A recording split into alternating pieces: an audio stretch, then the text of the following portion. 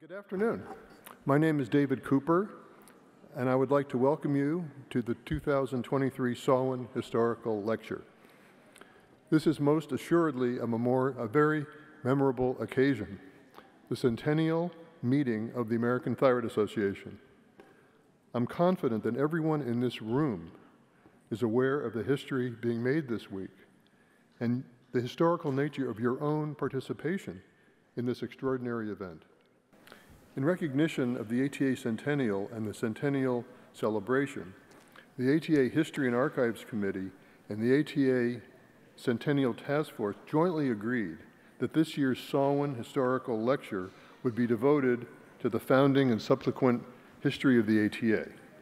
But before I introduce today's speaker, I'd like to say a few words about, Dr. Clark Sawin, the namesake of today's lecture. Dr. Clark T. Sawin was a Boston native. He graduated from Brandeis University in 1954. He was one of the first graduating classes of this new university. And then he attended Tufts University School of Medicine, graduating in 1958. After serving in the Army Medical Corps, he completed a fellowship in endocrinology at the Tufts New England Medical Center under the direction of Edwin Ted Astwood, who, as you know, is the father of antithyroid drug therapy. During his productive clinical research career, Dr. Sawin made many important contributions to thyroidology, especially in the area of subclinical thyroid dysfunction and thyroid disease in older persons. He was chief of the endocrine diabetes section at the Boston VA Medical Center from 1966 to 1998 and a professor of medicine at Tufts University School of Medicine and then later on at Boston University School of Medicine. And it was while I was a student at Tufts Medical School in the 1970s that I met Dr. Sawin, and he became one of my mentors and my friend. In 1998, he moved to Washington, D.C. to serve as an inspector for the Veterans Administration, leading efforts to uh, improve veterans' endocrine and diabetes care. While his contributions to thyroidology and patient care are notable, medical history was his passion with a special interest in the history of endocrinology. In this arena, he wrote more than 80 articles and historical vignettes, many about the historical giants of thyroidology and the clinical advances in the care of patients with thyroid disease. Many of his papers appeared in a journal called The Endocrinologist, which is no longer published, but they can be found online and also in a volume entitled A Biographical History of Endocrinology published by the Endocrine Society. Medical history was not simply a hobby for Dr. Sawin, he was an authentic and professionally recognized medical historian. In his work, he strived not only to tell the story of endocrine discovery, but importantly, how that discovery was influenced and resonated in the context of other medical and non medical events that were occurring at the same time period. Among his many uh, honors and awards was the 1990 Reynolds Award from the American Physiological Society for his work in the history of physiology. Dr. Sawin initiated the historical vignette lecture series at the annual meeting of the ATA in 1989 with a talk on the history of the use of thyroid hormone preparations. The idea of an annual lecture on thyroid history became a tradition that continues to this day. At the time of his death in, two, uh, in uh, 2004, at the age of 70, Dr. Sawin was president of the American Thyroid Association. After his passing, to continue Dr. Sawin's work in endocrinology history, his family established the Clark T. Sawin History Resource Center at the ATA and the Clark T. Sawin Memorial Library at the Endocrine Society. The annual Sawin Lecture at the ATA honors Dr. Sawin's legacy with an annual speaker selected under the purview of the ATA History and Archives Committee, although, as I mentioned earlier, this year's speaker, Dr. Peter Kopp, was selected jointly by the History and Archives Committee and the Centennial Task Force. Dr. Kopp is well known to everybody in this room uh, since he's the past editor in chief of our flagship journal, Thyroid, and the immediate past president of the American Thyroid Association. He spent much of his career as a professor and director of the Center for Genomic Medicine at Northwestern University School of Medicine, before moving back home to Switzerland to become professor of medicine and médecin chef of the Department of Endocrinology, Diabetes, and Metabolism at the University of Lausanne. Like Dr. Sawin, Dr. Kopp is not only an illustrious endocrinologist and leader in the field. Oh, there's a picture of Dr. Kopp, if you could put that up, although you're going to see him shortly. But he's also an acknowledged medical historian, and he was a protege of Dr. Sawin. Indeed, Dr. Kopp has presented or moderated four Sawin lectures. The most recent was in, 19, in 2022, devoted to uh, neonatal screening for congenital hypothyroidism. In recognition of the ATA centennial, I would now like to give the floor to Professor Peter Kopp, who will speak about what else? The American Thyroid Association, the organization that we cherish. The topic of his lecture is the American Thyroid Association 1923 to 2023, honoring our past, embracing our future. Dr. Kopp.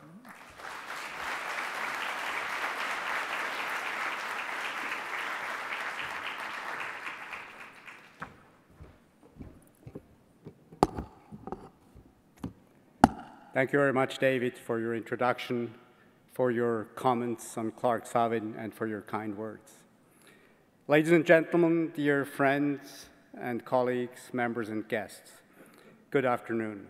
It is a special honor to address you today to mark our centennial and to reflect on the themes of where do we come from, what are we, and where are we going.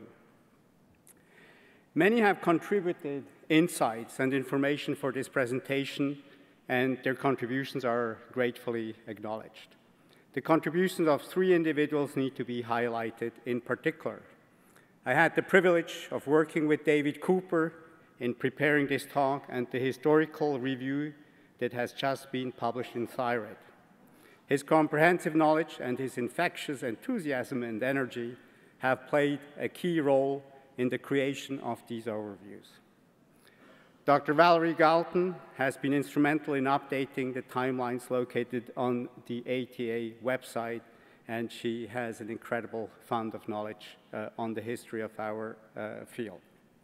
And finally, Charlene Cano, Director of Publications and Membership of the ATA, has assisted David and me with pertinent information about many details of our organization including membership statistics. Well, it all started in the prairie of Illinois. Would you have thought so? Halfway along the railroad between Chicago and St. Louis, in Bloomington, a town of 28,000 inhabitants according to the 14th census of the United States, completed in 1920. For comparison, in 1920, Chicago had about 2.7 million inhabitants. Of note, in 1856, at Majors Hall in Bloomington, Abraham Lincoln delivered his famous lost speech on slavery during a convention to organize was, was then another Republican Party in Illinois. The famous Route 66 was created a few years later in 1926, and Bloomington became an important stop in Illinois. At the time of the founding of the American Association for the Study of Goiter in 1923, this was the original name, we are at the beginning of the roaring 20s, a few years after the global influenza pandemic and the end of World War I, which had, ironically, a significant positive impact on the American economy through the sales of weapons. For the first time, more Americans are living in cities than in rural areas. Radio is widely available and has a huge social impact. The film industry is soaring, and Hollywood is releasing more than 800 films per year. Jazz enters the music scene. The Harlem Renaissance is underway. African Americans and women begin to express themselves more freely. The flapper redefines the modern look of women in Western societies life is again in full swing. The Model T Ford automobile is fundamentally changing transportation, and by 1924, more than 10 million are sold. The assembly line becomes part of the industrial production. Prohibition, lasting from 1920 to 1933, bans the production and the sale of alcohol, and results in a rise in organized crime. The Roaring Twenties ended abruptly with the crash of the stock market in 1929, which marked the beginning of the Great Depression.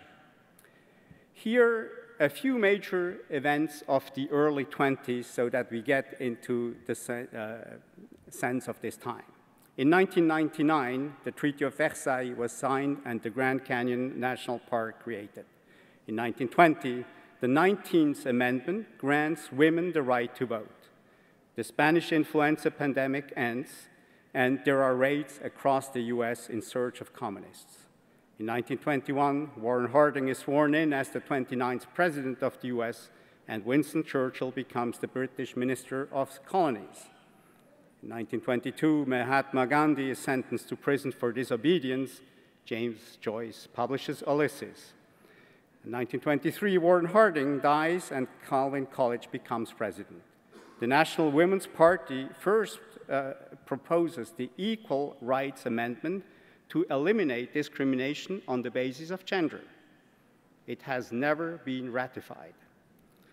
1924, Lenin, Lenin dies, Coolidge is elected president, IBM is founded by Thomas Watson, and the Immigrant of Act of 1921 and 1924 closes America to East European Jews and others.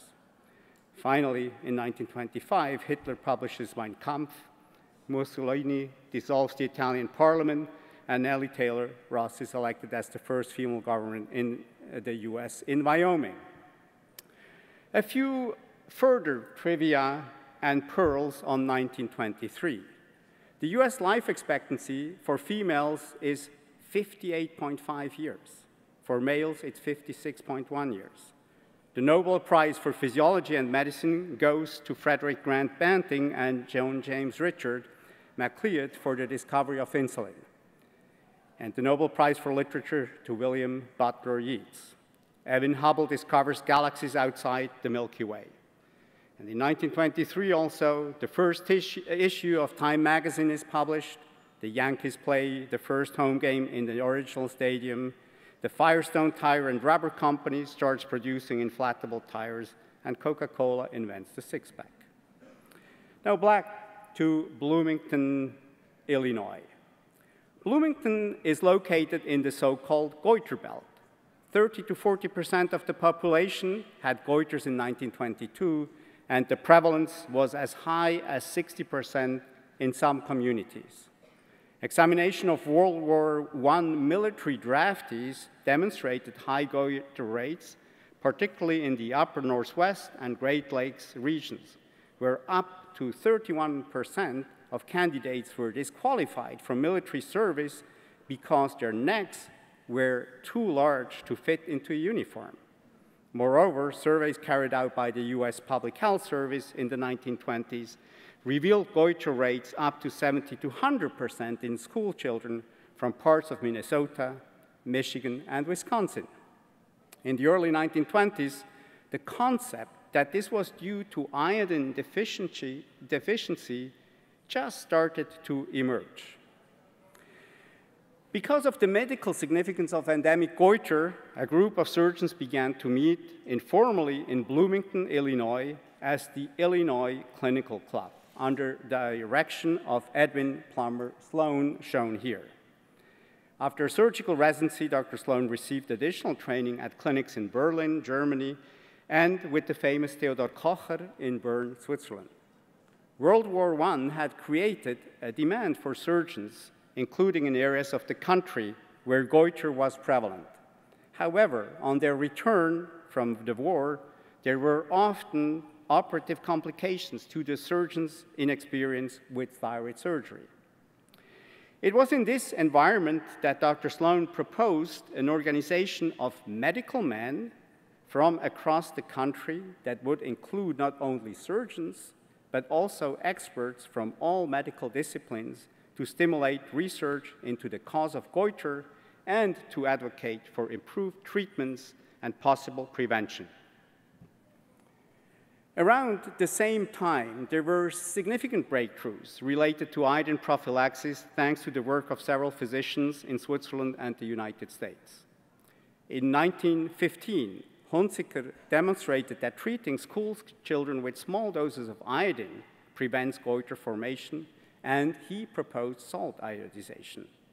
Otto Bayard, a physician working in a mountain valley, performed well-structured and controlled trials with various doses of iodine and showed that as little as 30 microgram of iodine prevents goiter formation. Both physicians also emphasized that there are no occurrence of the feared Jod-Basedow phenomenon. Finally, Hans Eggenberger launches a popular initiative and convinced the Swiss Goiter Commission to introduce salt iodization. This led to the official introduction of salt iodization in Switzerland in 1922. By 1930, all cantons enforced the state-mandated iodide salt prophylaxis, which immediately reduced the phenomena of goiter and cretinism. And at the same time, in the United States, Marine and Kimball conducted the famous trial in school children in Akron, Ohio, and independently showed that the supplementation of iodine prevents goiter formation. Salt iodization is introduced then in 1924 in Michigan and then gradually in the other states. On December 6, 1923, in Bloomington, Illinois, Dr. Sloan's vision to create a professional organization was realized in the formation of the American Association for the Study of Goiter. That's the centennial we are celebrating today. Remarkably, on the same day, US President Calvin Coolidge made his first State of the Union address, and this was the first time it was broadcasted on nationwide radio. Dr. Sloan was inaugurated as the first president of the ASGG for the years 1923-1924. According to a recollection of the early history of the society, there were 26 charter members, including a Denver surgeon, Seymour van Meter, who initiated the Van Meter Award in 1930 during his presidency, as well as his daughter, Dr. Virginia Van Meter, who was also a surgeon. Of note, Dr. Henry Plummer, an internist, was also one of the founding members of the society. All the others were, as far as we can tell, surgeons. In addition to Dr. Sloan, seven additional charter members, shown here in red, became future presidents of the ASG, AS, ASG. A call for a meeting was uh, made immediately and, among others, published in the New England Journal of Medicine. The first regular meeting then occurred a little bit more than a month later at the Unitarian Church during January 23 25 in 1924 in Bloomington, with more than 200 physicians in attendance. Lectures included, among others, an, anal an analysis of the types of goiter with indications for treatment, radium treatment of goiter, and a review of another year's work with thyroid disease by Dr. Frank Lahey, who could not attend the meeting, and interestingly, the use of seaweed in the prevention and treatment of goiter by Dr. Turrentine from the US Department of Agriculture. There were also debates on the causes and classification of goiter with emphasis on the benefit of appropriate classification, which might importantly lead to non-operative treatments. The daily program was published in the local newspaper, the Daily Pantograph, each morning. In addition to the more than 50 lectures during the three-day meeting, operative clinics were held each day at two local hospitals where surgeons demonstrated the latest surgical and anesthetic techniques. Interestingly, the names of the patients who were to have surgery were also published in the local newspaper. Networking played an important role as well. As stated here, and this was published in the Pantograph, a banquet last evening was one of the enjoyable features of the day. There was a large attendance and the menu was an elaborate one. So much of the early history of the AASG had to be pieced together by Dr. Cooper and myself because the records of its early years were in large part destroyed in a fire. We have extracted information from society meeting minutes and the transaction of the American Association for the Study of Goiter, which can be found in the ATA archives. A few other testimonies have provided important insights. Among them, Dr. Gordon Fahrni, one of the founding members, wrote his recollections in 1973 when the association turned 50. Dr. Fahrni was a Canadian whose father immigrated from Switzerland, and he served as the fourth ATA president in 1928. He wrote, The first decade in the life of our association typified somewhat that of a surgical club, the members of which assembled each year to compare experience and to work toward a broader perspective. But he also added Basic in this plan was to bring into membership the other branches of our profession interested in thyroid problems. In this, we were successful, and some of our first recruits were internists and research workers in this field. Then followed endocrinologists and biochemists, and as the years went by, our membership increased and broadened to include all phases of effort in thyroid problems. Hence, obviously, there was a very open-minded and integrating vision among the early members of the association. Let us now put the foundation of the ASG succinctly into a broader and international context. A year earlier, on June 24, 1922, as mentioned, the Swiss Goiter Committee, presided by Fritz de Quervain, the successor of Theodor Kocher as chair of surgery in Bern, took a historic and courageous decision despite of very strong resistance by some of its members on June uh, of the committee. He officially, and the committee officially recommended that every canton should make iodized salt available to its people. In response to a popular initiative, as mentioned, the first canton introduced the first formal salt iodization at the population level shortly thereafter. And in 1924, the first US state, Michigan, introduced salt iodization. Then, in 1927, a key event was held in Bern, Switzerland, the first international conference on goiter. The first international goiter conference in Bern, my hometown, by the way, was attended by 188 delegates, including surgeons, internists, researchers, pathologists, and public health authorities from 18 countries. 26 delegates were from the United States and included key AASG members, among them Rudolf Young, a founding member and AASG president in 1936, who wrote the detailed report on the conference. The program was chiefly concerned with the etiology and prevention of endemic goiter. The presentations were held in French, German, Italian, or English, and published in the original languages, but also translated into English. The main resolution was to uh, disseminate the information about the effect of iodized salt to all regions affected by endemic goiter.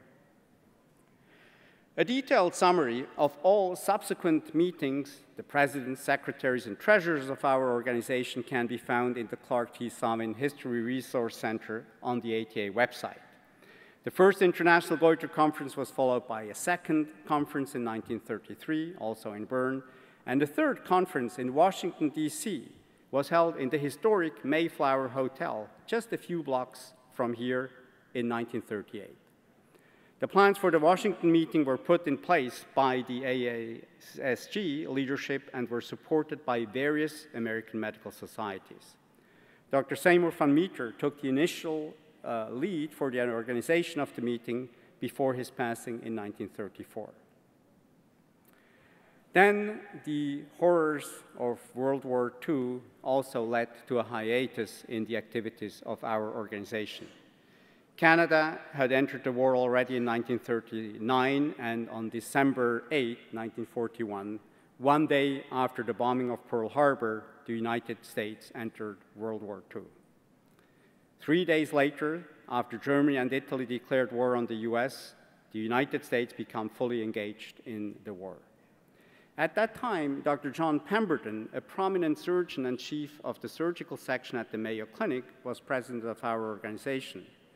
We do remember him for the Pemberton sign, not for the fact that he has been the president of our organization with the longest tenure from 1942 to 1946 because of the war.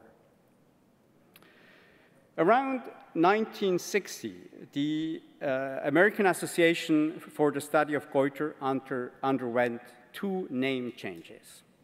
In 1959, the AASG was incorporated in the New York State as the American Goiter Association. And in 1961, the name was changed to our current name, the American Thyroid Association, reflecting a shift from a focus on goiter to a broad spectrum of thyroid pathophysiology, including hypothyroidism, hyperthyroidism, and thyroid cancer. Similarly, the international meetings were also renamed after the Fourth International Goiter Conference in London. The meeting in 1965 in Rome, Italy, was named the Fifth International Thyroid Congress, and the ITC is now held every five years. This slide, with data compiled by uh, David Cooper, summarizes the founding years of our main sister societies, such as the BTA, JTA, ETA, LATS, and AOTA. And below the timeline, uh, you see the date of the creation of several other selected professional societies, such as the Endocrine Society, with close interactions with our subspecialty. As mentioned, most of the documents of the early history of the AASG were lost in a fire. This emphasizes the urgency to digitize our records and archives in the near future. In 1950, Dr. Rudolf Young wrote a text entitled American Association for the Study of Goiter, Early History, International Conference on Goiter, that provides information about the origin, objectives, founding members, national and international meetings, goiter classification, publications, and officer. This overview has not been published, uh, but is available in the archives of the ATA. Here are just as an example, two excerpts of the first meeting and the officer who served in the early years. In 1973, for the 50th anniversary, we do have a copy of the presidential address by Dr. Sidney Werner from Columbia University. He had published the first version of the now famous uh, textbook, The Thyroid, a Fundamental and Clinical Text, in 1955. Now this book is, as you all know, entitled Werner and Ingbar's The Thyroid. The presidential address from 1973 does not tell a lot about the history of the organization, but reflects that there were some questions about the future goals of the organization. I do quote, should we have a role apart from our scientific meeting in education of the profession at large and of the service to the public? How far can we go in helping to identify and publicize risks to the population at large, such as from iodine want or excess. To patients whose thyroids were exposed to radiation in infancy, in screening the newborn for hypothyroidism. Obviously, the answer was yes, and has led to a significant expansion from a focus on goiter to all aspects of thyroidology. He also wrote, if yes, should these initiatives be funded and who would do the work? Finally, will changes in research support affect the composition and productivity of our membership and how active can we be in defense of our field? Don't these questions sound familiar? It sometimes seems that there is nothing new under the stars. I have mentioned Dr. Fahrni before. He has published this uh, recollection, uh, recollection, on the organization and growth of the American Thyroid Association in 1973 with a focus on the time between 1923 and 1950. This is by far the most informative report on the development of our organization, from where it came and how it evolved, and I encourage you to retrieve it from the ATA website. This slide shows the map of all meeting locations of, over the last 100 years. According to the website, our centennial meeting is actually the 93rd annual meeting. Interestingly, the four international Goiter conferences have been counted towards this number, but the international thyroid conferences have not. As you also know, in addition to the hiatus caused by World War II, the 2020 meeting had to be canceled, and the 2021 meeting was held virtually because of the COVID pandemic. By far, the most meetings have been held in Chicago, with 12 meetings overall, and nine meetings took place in Canada. This overview illustrates the four international Goiter conferences held between 1927 and 1960, and the International Thyroid uh, conferences held every five years since 1965 in gray. The meeting in Xi'an could not take place as planned, again because of the COVID pandemic.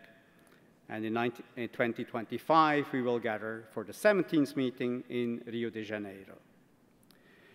A professional organization such as the ATA is, of course, embedded and exposed to the societal, political, and economic environment. Because of that, and linked to recent decisions of the Supreme Court, the Board of Directors has formulated and published a formal meeting site policy in May 2023. And I felt it is of some relevance to draw attention to this. Without going through all details, the ATA is committed that the meeting site must fulfill the following key criteria. The ability for attendees to feel welcome and safe regardless of their racial, ethnic background, national origin, gender, sexual orientation, religion, or eventual disability. The presence of healthcare policies that emphasize science and evidence-based practices and promote health equity. And finally, attendee safety, including the ability to access appropriate emergency, reproductive, or gynecological care for themselves while attending the meeting. I think all important points. Let us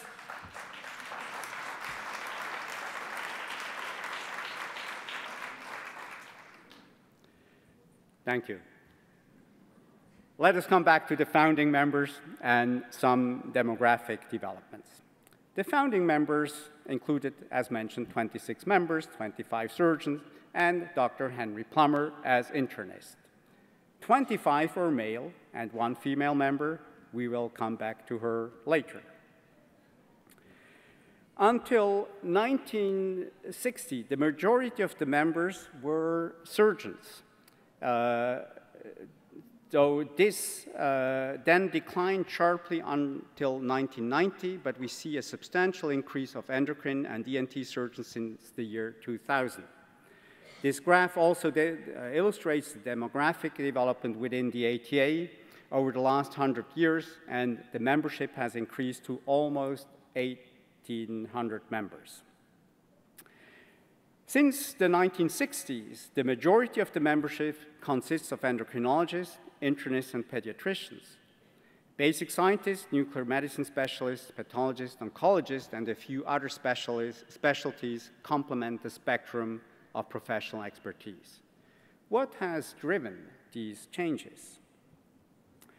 Accompanied by numerous scientific, medical, technological, and societal developments, there has been a constant and dynamic development which has impacted the focus and the composition of the ATA, as just illustrated with the demographics, and of course the content of the annual meeting. A detailed summary of these milestones is not possible due to time constraints, but the timelines in the Clark T. Sawin History Resource Center provide a fantastic overview. And as mentioned, the work of Dr. Valerie Galton, as well as uh, members of the History and Archives Committee on these timelines need to be gratefully acknowledged. So kudos, Val. Huh? Just to cite a few key events. In the 1920s, iodine administration became routine as a preoperative measure in patients with toxic goiter. That is, was really um, driven by the work of Dr. Henry Plummer. Sir Charles Harington identified the correct structure of thyroxine and synthesized the hormone. The clinical use of radioactive iodine for the therapy of hyperthyroidism and thyroid cancer was introduced in the 1940s. And at the, at the same time, antithyroid drugs entered the therapeutic realm.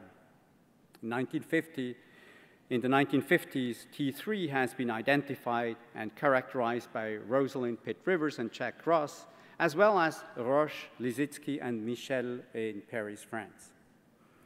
In the 1950s, the basal metabolic rate to estimate thyroid function was supplanted by the measurement of protein-bound iodine.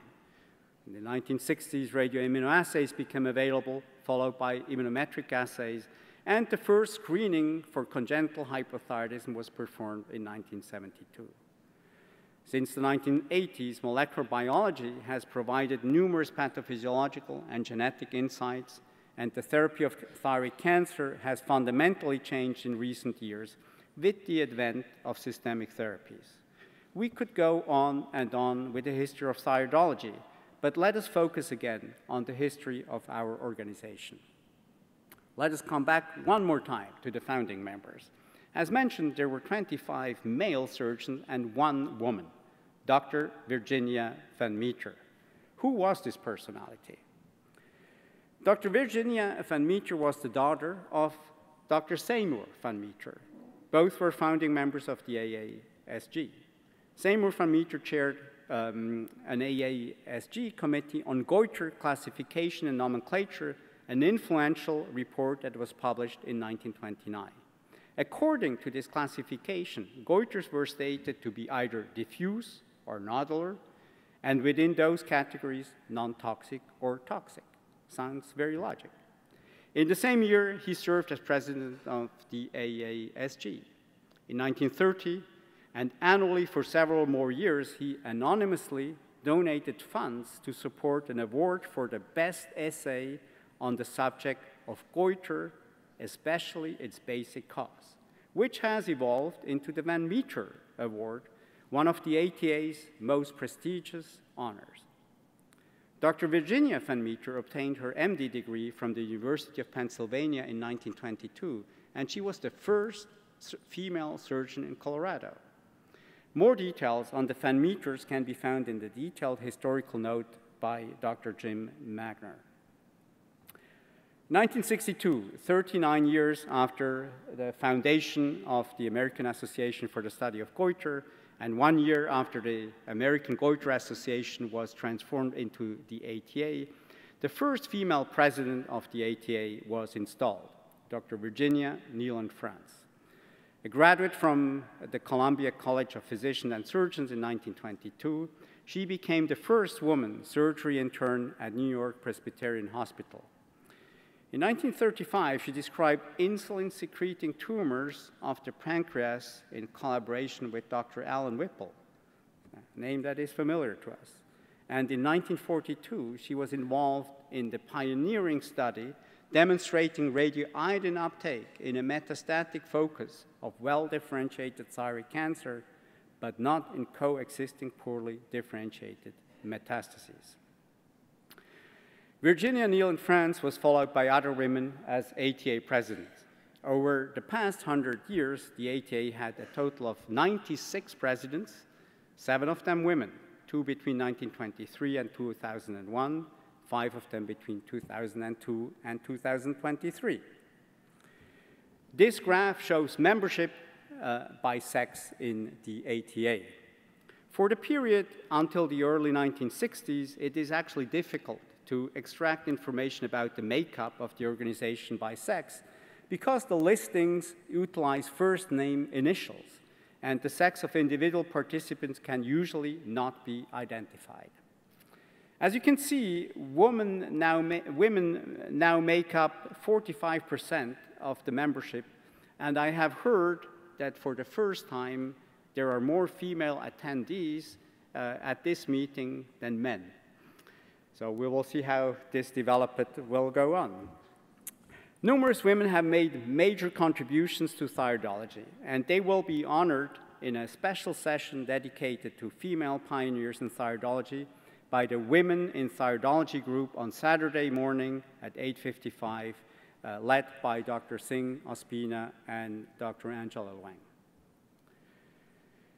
We have talked about many of the presidents whose biographical sketches have been added to the Clark. Sawin History Resource Center, an effort led by David Cooper, Valerie Galton, Connie Trump, and Carolyn Yuen.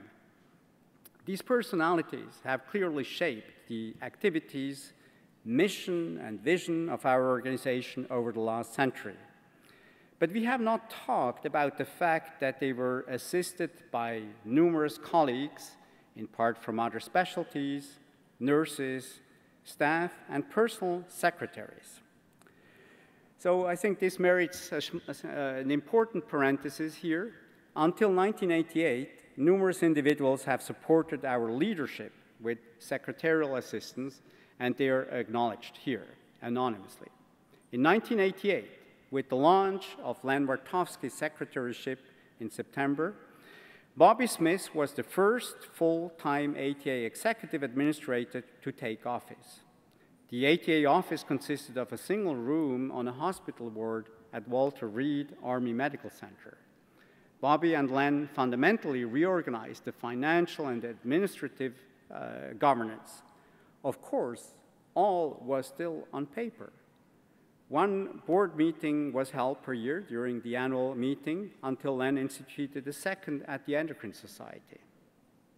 In 1990, the journal Thyroid was launched, and in 1991, the then ATA president Connie Pittman suggested emphatically that the organization finally get the fax machine. so the modern era had begun. Um, know, after the conclusion of the five-year term of Bobbi and Len, Bobbi left the ATA and worked for other organizations. For several years, the administrative work was then taken on by Diane Miller until 2001, here shown with then Secretary Paul Ladenson and Treasurer David Cooper, as well as board members Elliot Levy, Sheue-yann Cheng, and Marvin Gershengorn. In 2001, after a strategic planning session of the board, Paul Ladenson recruited Bobbi again as the first executive director of the ATA. Bobbi moved the office from New York to Falls Church, secured space and computers, and hired staff, and started preparing for the meeting that was supposed to begin on 9 11 2001, here in Washington, D.C. And as you all know, this fateful day led to the cancellation of the meeting but it then took place later in November, illustrating resilience and dedication of leadership, membership, and staff. The former, former and current staff members are shown here with Bobbi, and we thank them again for their fantastic support of the ATA. Hmm. Then, after 25 years of dedicated and transformative leadership for the ATA, Bobbi announced her well-merited retirement in 2019 for May 2020, and she has been celebrated at the Chicago meeting in 2019. Amanda Perl, our new executive director, took office in May 2020 in the midst of the COVID pandemic. Amanda has a long-standing experience in association leadership, and before joining the ATA, she has worked as Chief Global Member Engagement Officer at the Endocrine Society. Amanda has been key in navigating us through the complicated years of the pandemic, and it is a highly dynamic and thoughtful steward. In short, in short a true pearl. So, what is our vision and mission? The vision of the ATA is optimal thyroid health for all. And the mission statement reads, transforming thyroid care through clinical excellence, education, scientific discovery, and advocacy in a collaborative community. Numerous means are used to achieve these goals and include, among others, the annual and other educational meetings, the support of trainees through programs such as the Chester Ridgway Conference, high quality guidelines, the activities of the committees and task forces, and our publication portfolio.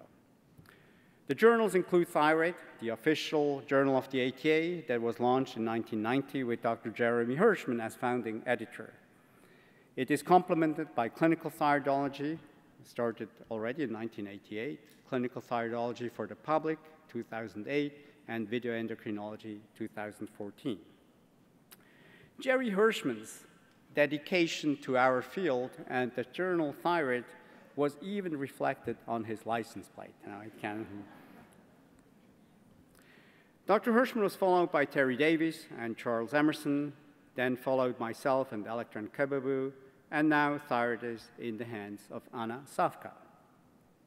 It is noticeable that the editors-in-chief of the three main publications are currently all women.